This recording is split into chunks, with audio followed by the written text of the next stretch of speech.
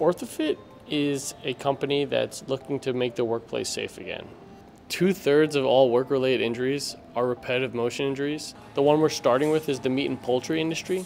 They have the highest rate of repetitive motion injuries. A worker would put on the smart glove at the beginning of the workday. Data would be collected on their motions and grip and vibrations they're exposed to throughout the day. And with a click of a button, they can perform an assessment on how the worker is performing their tasks and if they're at risk of developing any injuries. And we'll give you feedback on how you can enhance and make your workplace better by giving you very tailored data which has been processed by smart algorithms. And in return, what you get is lower injury rate in your workplace.